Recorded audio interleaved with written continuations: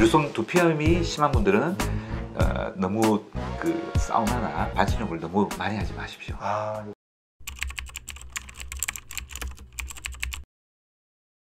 고마우신 구독자님들 오늘도 클릭해 주셔서 정말 감사합니다. 오늘도 아주 특별한 분 모셨습니다. 우리 탈모의 전문가시죠. 모델님 성형외과의 황정욱 대표원장님 나오셨습니다. 안녕하세요. 네, 안녕하십니까. 네, 반갑습니다. 예, 반갑습니다. 오늘도 우리 시청자 여러분들의 이 두피 건강, 예. 모발 건강에 대해서 말씀해 주실 건데 오늘의 주제는 바로 지루성 두피염. 네네. 네. 여기에 대해서 좀 오늘 설명을 좀 해주셨으면 좋겠습니다. 이 지루성 두피염 도대체 뭔가요, 이게? 아, 네. 지루성 두피염이라고 해서 네. 어, 이게 특별한 디자인이 아니고요. 네. 우리 일반 성인에서 20% 내지 30%가 많이 가지고 있습니다. 아, 그래요? 예. 그래서 보통 사춘기 학생들도 그렇지만 네. 그 중장년층에도 나이가 들어갈수록 어, 많이 생기는데요. 쉽게 말하면 두피가 좀 붉어지고 음, 네. 조금 더 심해지면 주위에 염증이 생기면서 네. 각질과 비듬이 많이 생기는 음. 어, 그래서 심해지면 진물도 나고 아. 어, 딱지도 않게 않고. 됩니다. 증상을 좀 하나하나 알아보고 우리가 이거를 알아보면서 내가 지루성 피부염에 해당되는지 네네. 한번 좀 체크 좀 부탁드리겠습니다. 내가 체크리스트를 좀 네. 적어 왔는데요. 네, 네, 네. 자, 첫 번째는요. 네. 머리에 쉽게 기름이 이제 끼는 아, 그래서 네. 그 머리 아침에 감았는데도 오후가 되면 머리가 떡이져서 이렇게 네.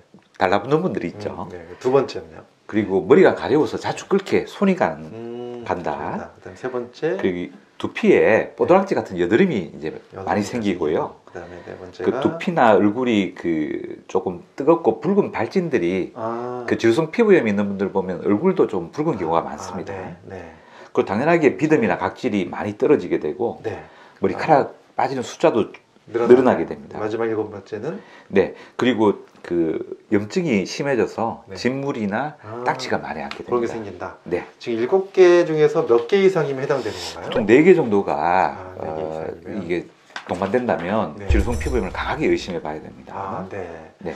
그 사실 보면은 질성 두피염이 이런 게 이제 주위에서 네. 보면 있는 분들이 있어요. 네. 있고 또 비듬이 많은 분들도 있는데 이게 네.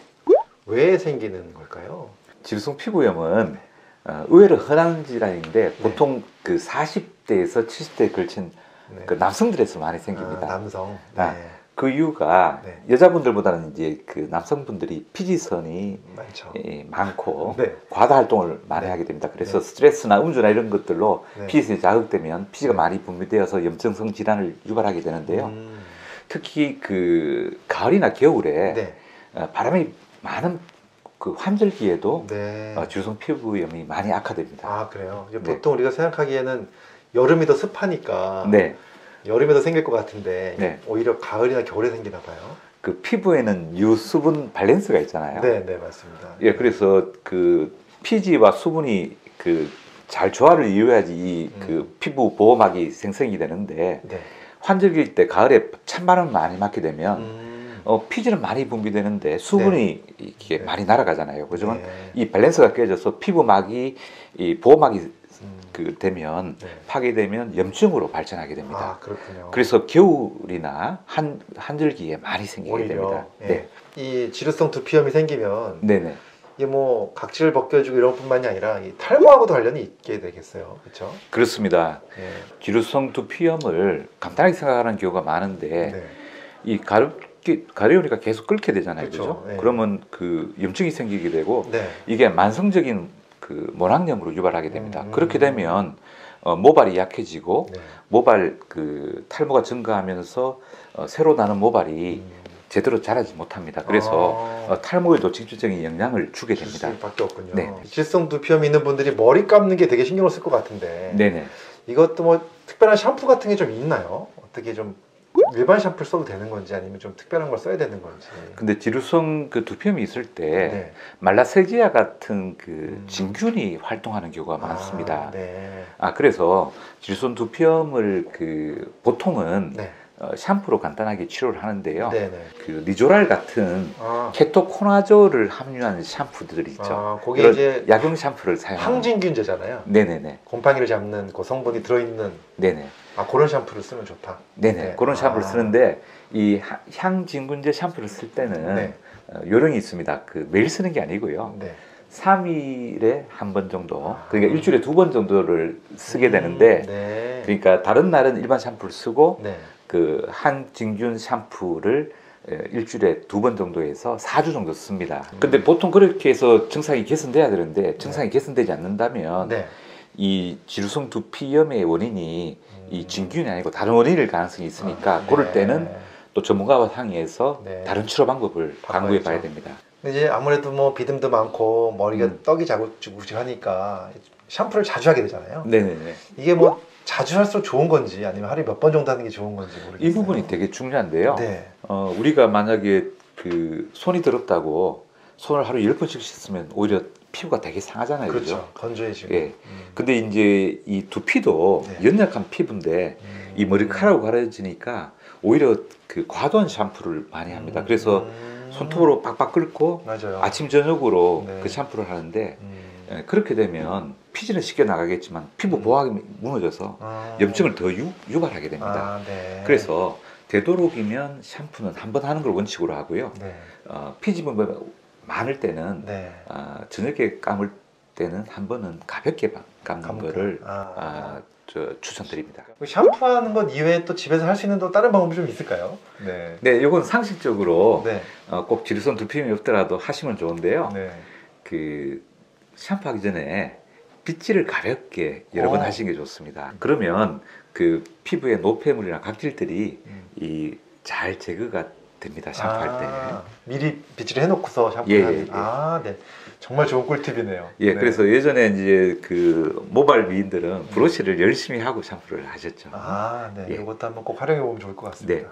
그리고 그 샴푸를 할 때는 특히 그 약용 샴푸 우리 쓸 때는 네. 어, 샴푸 거품을 내고 한 3분 정도에서 5분 정도 음. 기다렸다가 네. 그 영양 성분이나 약용 성분이 두피에 그 충분히, 예, 어. 충분히 스며들 다음에 헹궈내시는 게 좋습니다. 시간을 좀 두고 해라. 네네. 네. 그리고 요거는 항상 강조하는 거지만 특히 주무시기 전에 머리를 감고 나서는 머리를 어, 아주 잘 말리는 게 중요합니다. 음, 지난번에 그 말씀 해주셔서 네네네. 저도 자기 전에 샤워하고 머리 네. 감으면 깨끗이 말리고 잡니다. 예. 네. 네. 그래서 이 발에 무좀도 습기가 네. 있는 상태에서 무좀균이 번지듯이 네. 이 주성 두피염을 유발하는 진균도 음. 어, 수분을 좋아하니까 말리는 게 좋고요. 네.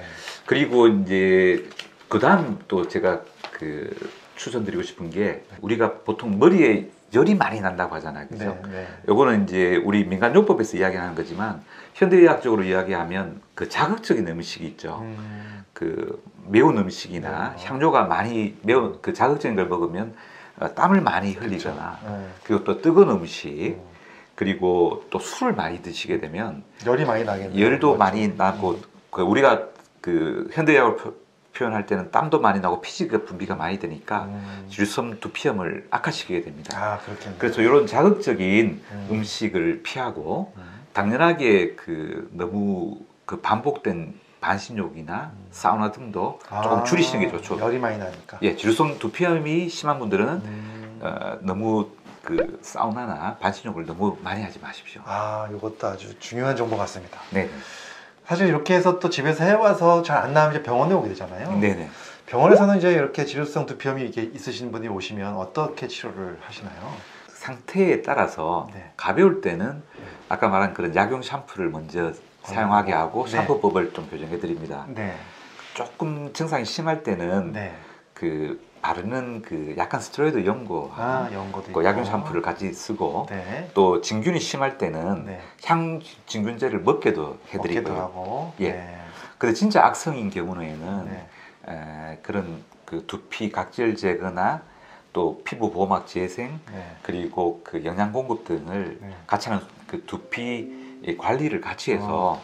어, 네. 또 치료를 해야 되는 경우도 있습니다. 아, 네. 자, 오늘 지금까지 우리 황정원 원장님께서 우리 그 두피에 대한 고민을 시원하게 해결해 주셨는데요. 많은 분들의 큰 도움이 됐을 것 같습니다. 아, 예. 네, 정말 우리 앞으로도 또 찾아뵙고 우리 탈모나 두피에 대한 건강에 대한 거 여쭙도록 하겠습니다. 오늘 여기까지 하겠습니다. 네, 감사합니다. 감사합니다.